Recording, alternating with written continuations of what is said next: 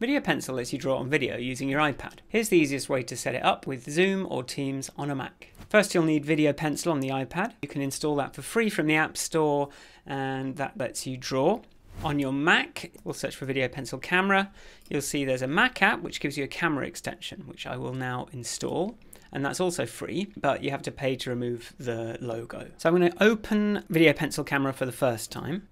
And first it's going to ask you to access the camera, so we're going to say OK. And now it wants to install a camera extension. So I'll hit install now.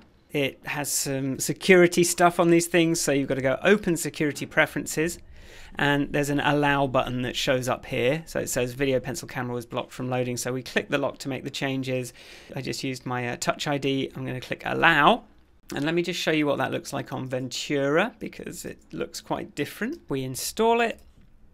It's going to say extension blocked. We go open system settings. Now you see here, we'll go allow, put in a password, and that will now be available. Over on the iPad, there's a drop down up here.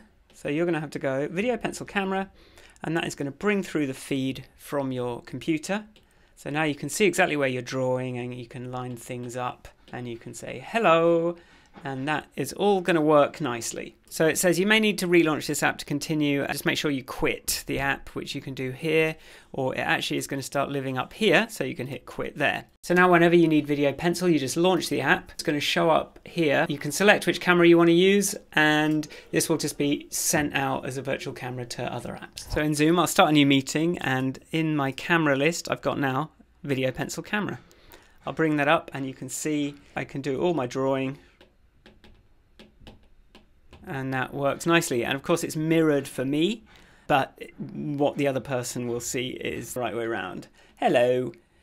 And that's how easy it is to use Video Pencil with your Mac. If you need help, come and find me in my growing community of Video Pencil users on the Squares TV Discord. Have fun!